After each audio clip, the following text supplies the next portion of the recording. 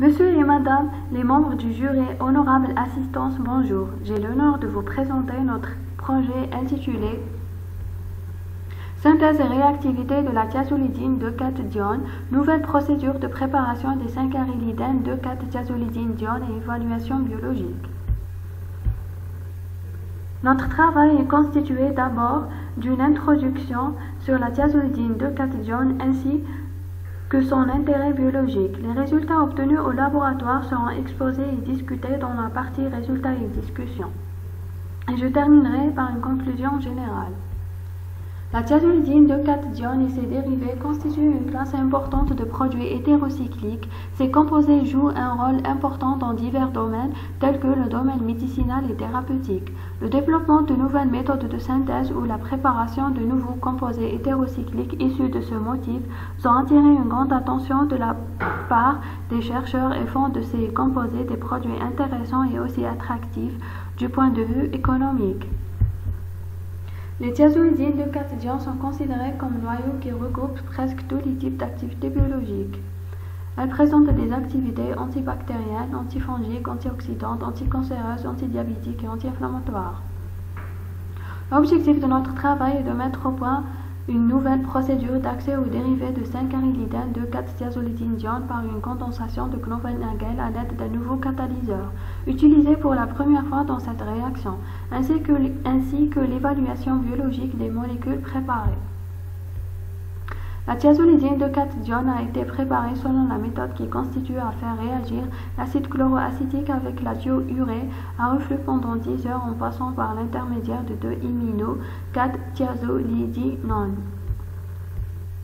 Avant de préparer toute une série d'arylidanes, nous avons procédé à des tests d'optimisation des conditions, des conditions opératoires dans le but d'améliorer davantage les résultats obtenus précédemment.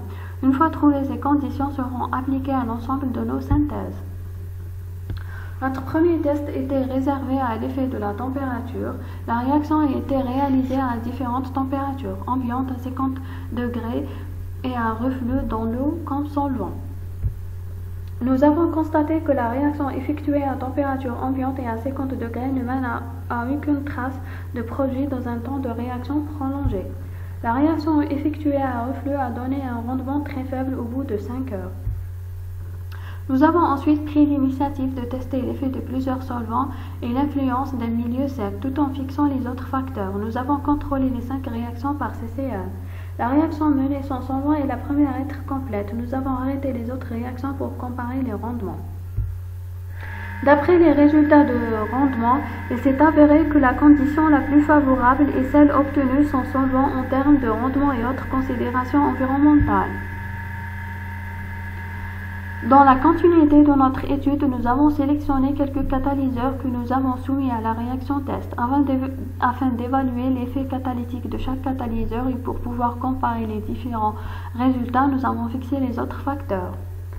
En nous référant aux résultats, nous avons choisi le troisième catalyseur, vu le rendement et le temps de la réaction.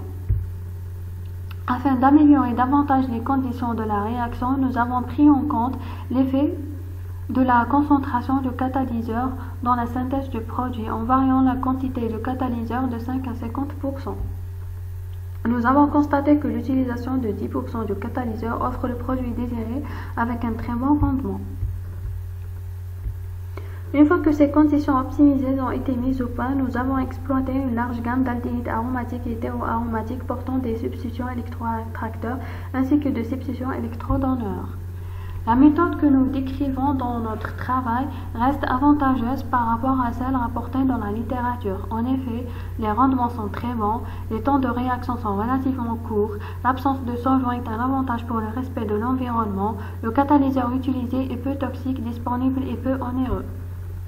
Évaluation de l'activité biologique. L'étude de la structure-activité des molécules préparées est en cours de réalisation. Conclusion.